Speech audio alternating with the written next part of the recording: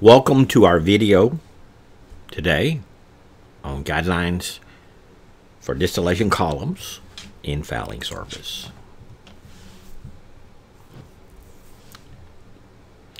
This is a two-part video. There's an introduction and then there's part two. So part one is the introduction and part two is the uh, uh, more detailed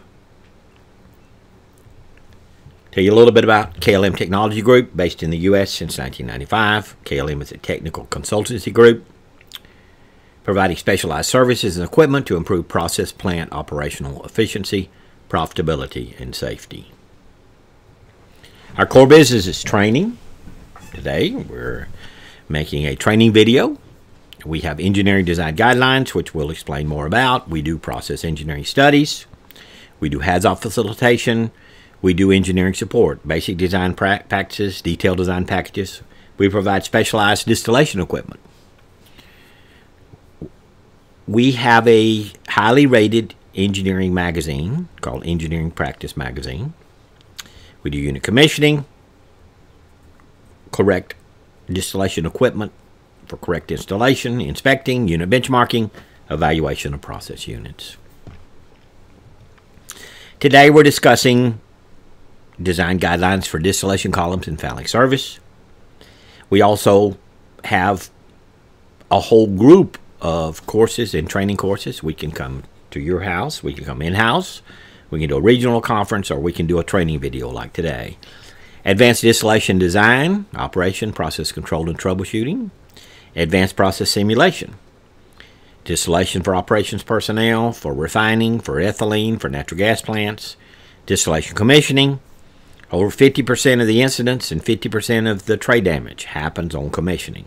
It's important for your operations group to understand how to commission all types of equipment, not just distillation columns, but pumps, compressors, control valves, distillation process control for operations groups, as well as other process units, ethylene plants, refineries, natural gas plants, chemical plants. They can be found on the website, klmtechgroup.com backslash training.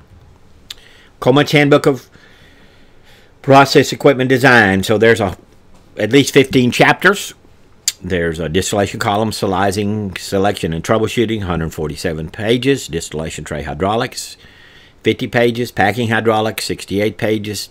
Reboiler design, 70 pages. Process control, 72 pages. Demister pads, 89 pages. Refinery crude tower, 169 pages. Refinery vacuum tower, 45 pages. Ethylene quench oil tower. We're going to talk in the part two, we're going to talk about ethylene quench towers fouling.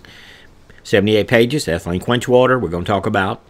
Ethylene C2 splitter, 74 pages. Ethylene C3 splitter, 64 pages. BTX tower design, butadiene extraction. We'll talk. We'll show a picture of butadiene fouling in part two. And there's three chapters on natural gas processing: LPG, LNG, and NGL. So there's a host of uh, chapters on distillation, plus there's chapters on pumps, compressors, control valves, relief valves.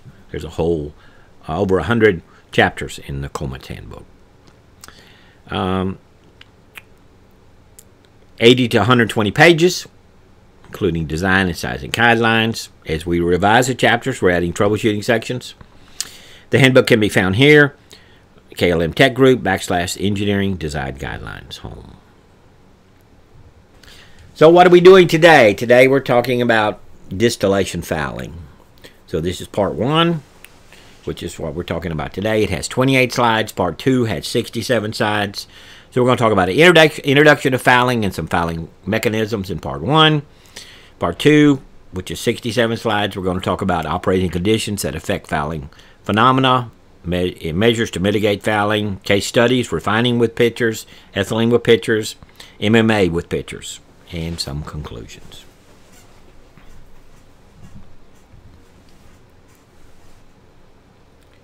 Designing mass transfer equipment for a fouling service first requires an understanding of the fouling mechanisms, the process in which the fouling occurs, and the behavior of the process when the fouling is present.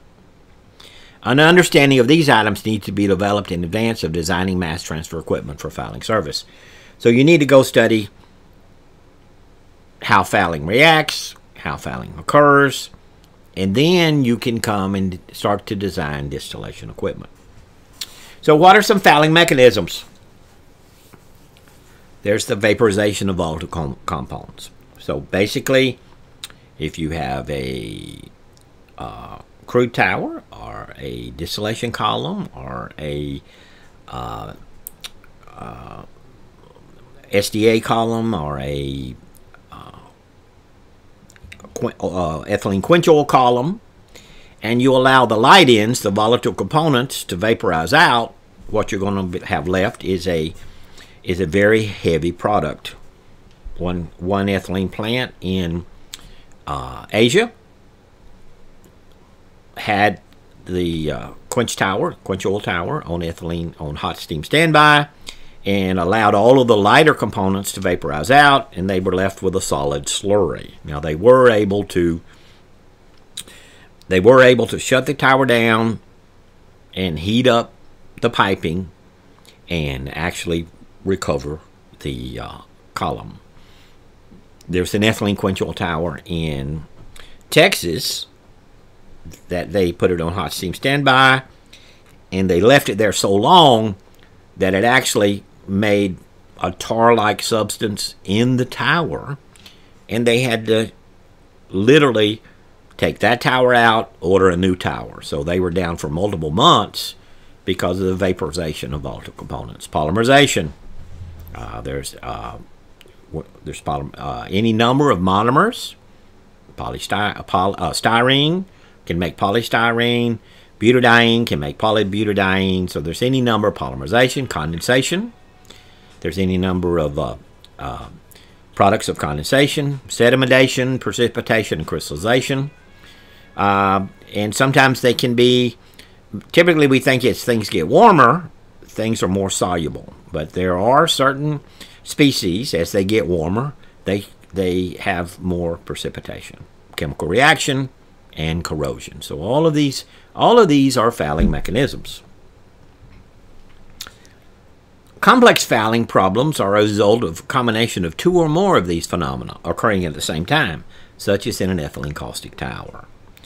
So you can have corrosion in a caustic tower, you can have polymerization in a caustic tower, and you can have sedimentation in a caustic tower. So there, they can have two or more of these occurring at the same time, and they're always mutually reinforcing. Once you have sedimentation, you're going to have polymerization. You're going to they they they help each other. In many applications, fouling can result if the, okay. So talk about uh, vaporization of volatile components. In many applications, fouling can result if the volatile components, the light ends, are allowed to vaporize. This can be a refinery vacuum column, refinery DS14 columns, and ethylene quench oil columns. And I've already talked about two ethylene quench oil columns where it happened in vacuum towers and DS15 towers. If the process is placed on recirculation with the addition of fresh feed with volatile material, the column can foul as the volatile materials are removed. You can actually end up with a very heavy slurry. You can actually end up with solid, uh, uh, solid components. Uh, in one example, an ethylene quench oil tower in Asia was placed on circulation and the viscosity of the bottom's product increased beyond its pour point. So it actually went solid. Uh, they were lucky that it only happened in the suction to the uh, pumps. It did not actually happen in the tower. Polymerization. Polymerization is the linking of double bonds to form long-chain polymers. These products are undesirable in the monomer distillation column and can lead to reduced capacity in unit outages. All right, so uh, monomer distillation can be styrene, which later makes polystyrene. So I've got pictures of uh, styrene uh, fouling can be MMA, and I've got pictures of MMA fouling, and uh, butadiene. I've got pictures of uh, butadiene fouling in part two. Condensation is where a reaction where two or more small molecules, small molecules combine to form large, stable structures. Extreme condensation is the formation of coke at high temperature and long residence times. Uh, so I've got some pictures in part two of coke being formed in ethylene quench oil towers. Coke forms when the thermal cracking removes the hydrogen and light materials from the fluid and a layer of coke is left behind. Thermal cracking can occur in both the gas phase and the liquid phase. However, the most common situation where liquid phase cracking with low liquid rates extend residence time in high temperature operations. Examples of condensation can be found in ethylene furnace transfer lines to the quench oil tower and refinery vacuum towers. Sedimentation, precipitation, crystallization. Sedimentation is accumulation of solids that are deposited in low velocity areas in the process equipment. The equipment can include heat exchangers, tower distributors, distillation trays, random packing, and structured packing. If the trays are fouled below the feed point, this cause might be sedimentation. So, uh, heat exchangers, tower distributors. For fouling services, I like V-notch distributors, which we'll talk about in part two. Uh, for distillation trays, there are certain aspects of distillation trays I like and I don't like. Uh, random packing, I prefer uh, grids or structured packing for fouling surfaces. Knowing the properties of the fluid in the suspended solid, flow conditions, and mixing effects, one can develop guidelines to predict the sedimentation of solids from liquids. Petroleum fluid is a mixture of various components. Solubility balance among all the components make a petroleum fluid stable. Changes in this balance can cause precipitation from a petroleum fuel and resulting fouling, such as asphaltene precipitation. Chemical reactions. In distillation, desired or undesired chemical reactions can occur. In the ethylene caustic tower, there are competing chemical reactions. The caustic absorbs the CO2, which is desired by electrostatic interactions and the van der Waals reactions. Acetaldehydes can be polymerized by the caustic, which is undesired, to form first a, a yellow oil polymer and then later a red oil polymer, which can then lead to emulsions, can lead to fouling. Operating conditions that affect fouling phenomena. Residence time. Okay, so for distillation, we want higher residence time to give us higher efficiencies. For fouling, we want lower residence time, so it'll have less time to foul. Stagnant zones, I really don't want stagnant zones whether I'm fouling or not fouling. I really want to design the tray to move across the flow of the tray without having stagnant zones. Stark transitions. Uh, if if I know it's going to be a fouling issue, I want to have rounded corners. I want to have uh, I don't want to I don't want to have inlet weirs. Uh, I may want to have stepped outlet downcomers. There's things I want to have, and I don't want to I don't want to assist the fouling phenomena. Emulsion issues.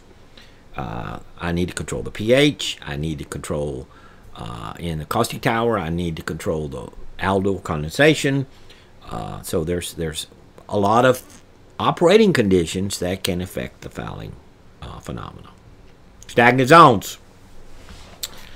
So all of these things can propagate. Vaporization of volatile components, polymerization, condensation, sedimation, chemical reaction. To eliminate stagnant zones, a small slope may be added to collection trays and flow promoters push valves to distillation trays. In the higher fouling cases, sharp transitions to corners need to be avoided. Transition and corners are where the polymer and solids can seed and grow. Packed towers, such as feed pipes and trough distributors, may be areas for polymer and solids buildup.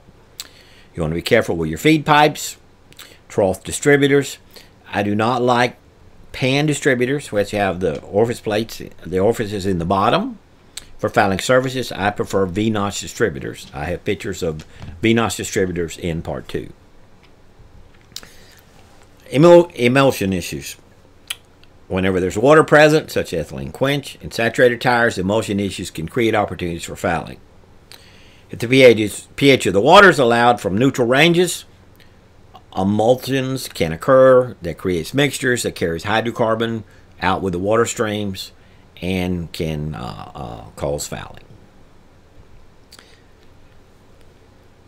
What are measures to mitigate? First step is to thoroughly review the process for fouling potentials. What do you have here? Go look at the history. Go look at, do some research. Go look at your histories. Look at what you've had before. Investigation of previous applications need to be reviewed develop the best solution for the specific process. There's a lot of uh, a lot of fouling papers out there. There's a lot of information on the web about what to do, what not to do. You uh, uh, you can go study and come up with a lot of information on how to mitigate fouling phenomena. There, there are many different opinions on designing tower internals for use in fouling service. And because distillation is part art and part science, differing opinions need to be proven serviceable in the field. Trays and packings can go both be utilized for fouling service. The key to a successful design is the proper application of internals, trays, and door packing. This paper is a starting point for producers, engineers, operators, uh, users to, to develop, based on their operating experience, practical, serviceable columns for fouling service. Thanks for your time today. This is the introduction to distillation fouling. We have part two, which is uh, uh, uh, more advanced, and uh, we look forward to uh, working with you in the future. And we can come do in-house training. We can obviously uh, work with you on some training videos. All the best in your career and life.